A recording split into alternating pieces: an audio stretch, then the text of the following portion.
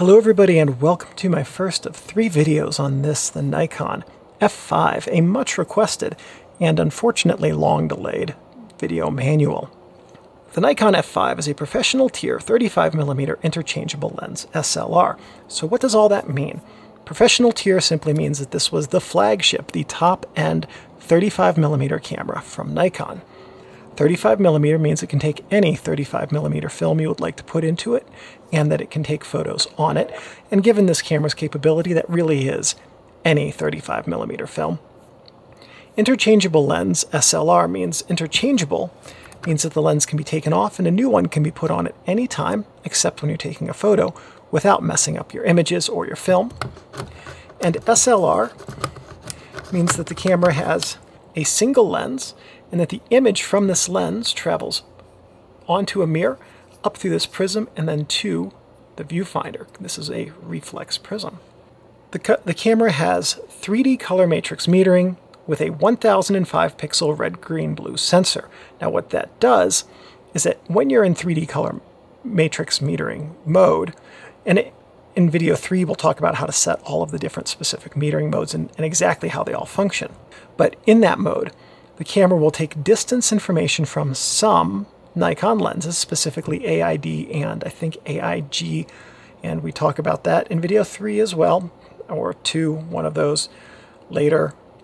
Um, so it takes that distance information, and then the red, green, blue meter sensor reads the light coming through the lens to determine the color breakdown as well as the contrast in the scene so it knows those things as well as the distance to your subject from the lens, and using all of those data points, it creates the best exposure that it can give you.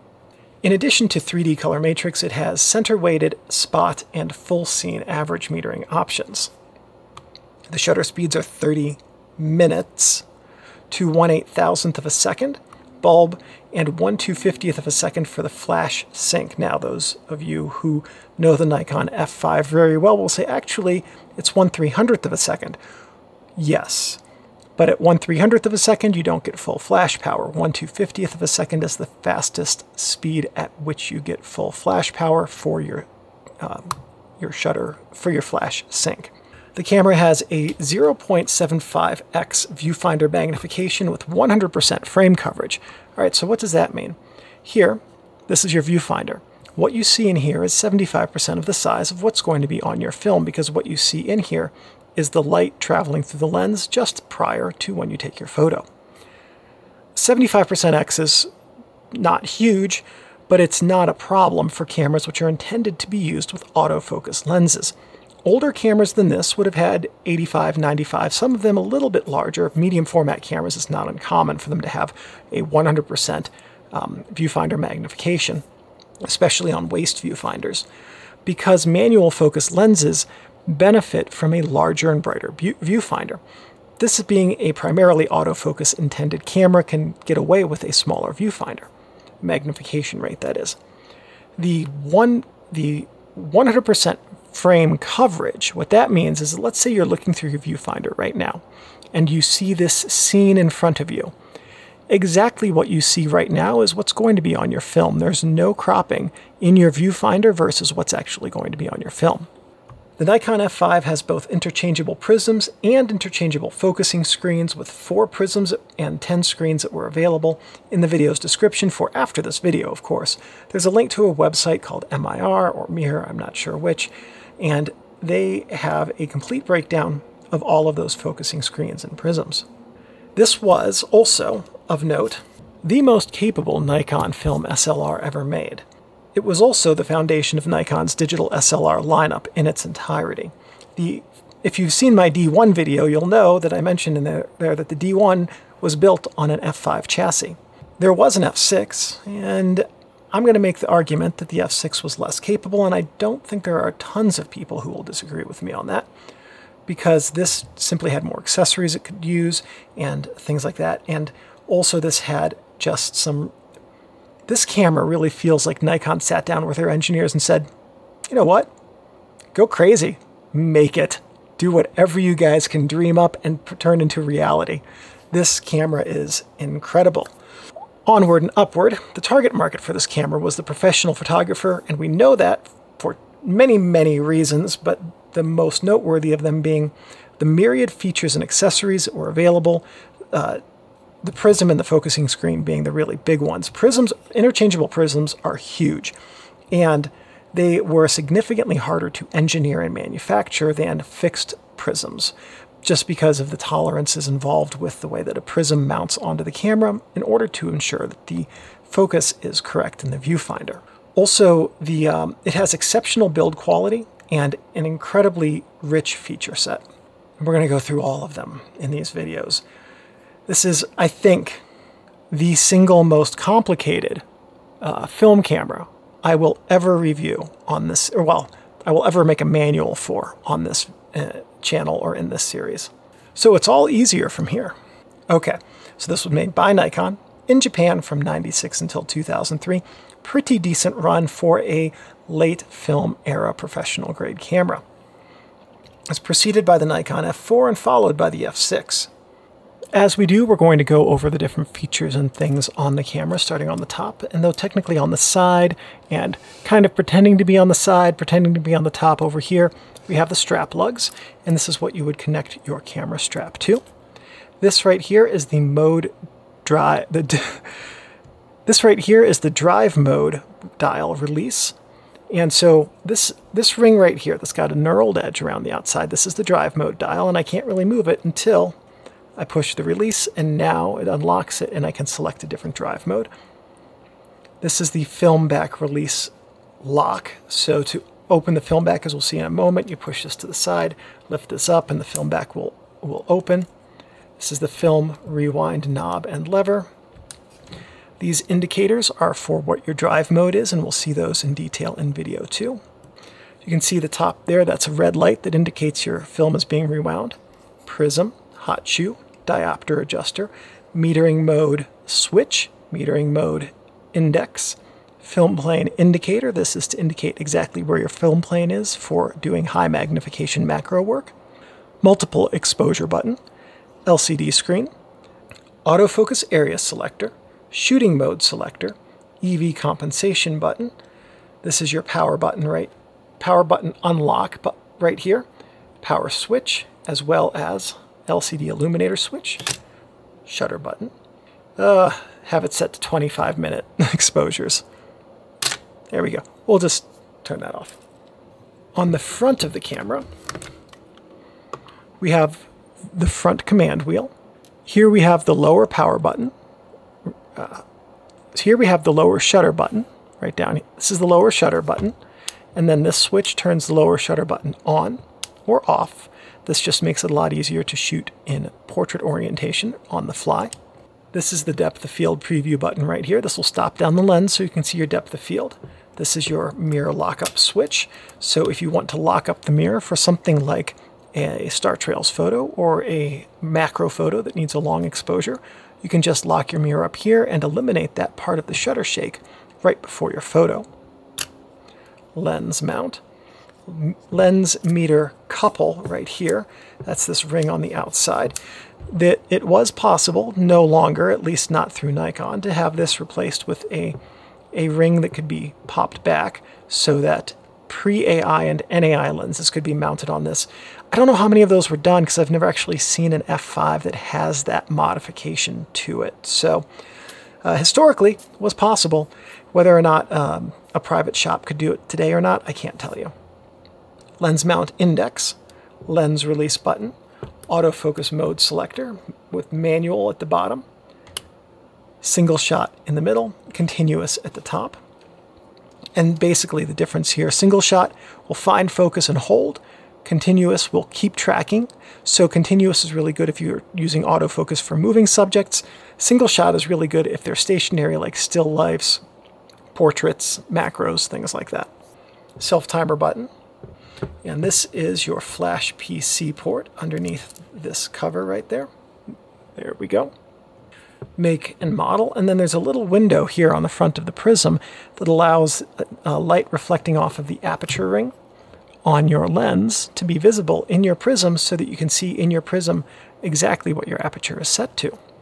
On the camera's back, we have film rewind button number two, which in conjunction with film rewind button number one, which you push in the order of their numbers, causes the film to rewind. Light indicating that the film is being rewound. This is the prism release button. Prism shade, so if you're doing something like a star trails or a long exposure or dark uh, pitch black or dark room flash photography, you can put the light, the shade down and ensure that no stray light coming in through your viewfinder fogs your image. It is theoretically possible that light coming into your viewfinder, which your viewfinder light travels through it both ways, both from the lens and then this way to the lens. With your shutter up, light could potentially work its way around a shutter. I don't think that would be an issue with this camera. Anyway, viewfinder, AEL-AFL button, autofocus on button, lower autofocus on button right down here, rear command wheel. This is the cross pad control. Down here we have a series of different function buttons, your ISO selector, flash mode selector, bracketing button, lock button, which by the way on this camera does not work, I don't think, so I, am not going to be able to demonstrate that. I tried getting it to work the other day and I could not, so either I'm doing it wrong or the button doesn't work. Uh, custom functions button, Nikon and serial number, LCD screen, remote control port. On the camera's bottom, we have a tripod socket. On the camera's side right here, we have the battery chamber release lock so that we can pull the batteries out. Uh, there were a few different battery pack options we'll talk about in the second video, but if you can get your hands on the AA adapter like this, it is worth its weight in gold. Because the rechargeable options for this camera are pretty much shot because they are all at least 20 years old. This, or mostly at least 20 years old. I'm sure they were made for some time after this camera exited production. This is the film type window so that you can see what type of film you have in the camera. Now to open the back of the camera, you slide this button toward in the direction of the arrow, and then you lift up on the film rewind knob, and the film back opens.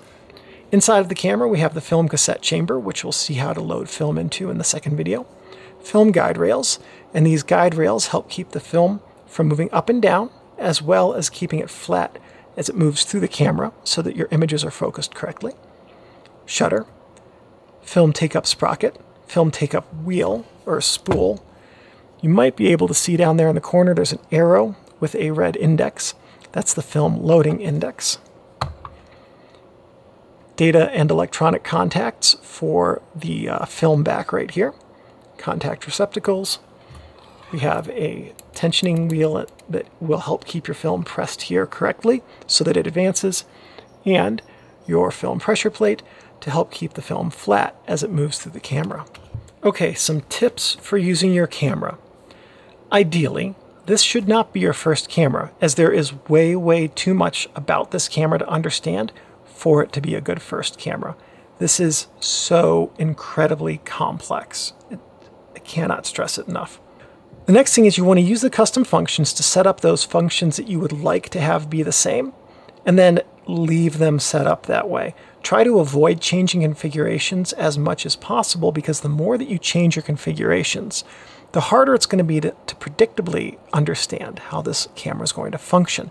So in video three, when we see the custom functions, I'll show you, I'll explain what those do and how they affect your photography so you can set them up one time and leave them. I mentioned the AA battery pack, and like, let me stress again, it really is worth it to buy that. The rechargeable pack options are old and they are likely unreliable. This camera, in fact, came with a rechargeable option on it. and it loaded into it when I got it. And it, it wouldn't charge, not at all. Like the charger wouldn't even recognize it. So after I got the AA battery pack, which was not easy to find, I won't lie. Um, and I had to settle for one that had a crack in it, by the way, which is fine. It doesn't affect the use. Uh, at any rate, after I got the AA battery pack, I was finally able, like four months later, to see if this camera even worked. And uh, so I decided to tear open the rechargeable pack that this had in it, and all of the cells in the rechargeable pack were covered with exploded alkaline battery, uh, alkaline crystals. So um, the AA battery pack is worth it. Also, remove the batteries if you're going to let this camera sit for more than a few weeks because exploded AA batteries can absolutely destroy your camera. The corrosion from them can follow the electronics into your camera and destroy the circuit board. In addition, exploded batteries are an absolute pain to get out of the camera and they can really do some lasting damage to your battery housing, which makes it very, very hard for it to function correctly. Some things not to do with your camera you don't want to touch the shutter or the mirror if you can at all avoid it because those, are both things that you can damage. With your finger oils, if they get on the shutter, they can eventually um, cause it to get a little bit out of time or potentially jam. Or if you put your finger through it, that could really destroy your shutter. The mirror, if you get your finger oils on it, could tarnish and that could affect your metering as well as your ability to focus. Also, don't leave your camera or your lenses in your car because heat can affect the, the the components in it. And a big one is that oils that are in the lens or in the camera's mechanical components can get very thin in the heat. And then it flows to places it shouldn't be. And when it gets back to its normal viscosity, uh, you've got a problem because that, that oil isn't supposed to be there. Then the other thing is that if it gets really cold in your car, it can break down and become gummy, and then that can ruin your camera's mechanical operation as well. Plus, just as a general rule, this camera looks digital it looks expensive, and it is. By film camera standards, this is not a cheap camera. It would be something that would be very tempting to have stolen out of your car. Don't store your camera in a plastic bag or box unless you have a very good rechargeable desiccant pack that you keep recharged. Moisture can permeate plastic, and that can cause fungus to grow on your optics and in your prism, as well as mildew to grow in the rubber of your camera. And just remember, your Nikon F5 is a precision tool that should be handled with care and respect. And as long as you take care of your camera, your camera will take care of you. So that's it for video one. We talked about what everything is. In video two, we're going to talk about what everything does and what how to use it for your photography. And then in video three, and in video three, the only thing we're going to cover are the custom functions because I believe that there are 24 of those. That sounds right. And it's a lot to go over, so we're going to do it in its own video. See you guys in video two.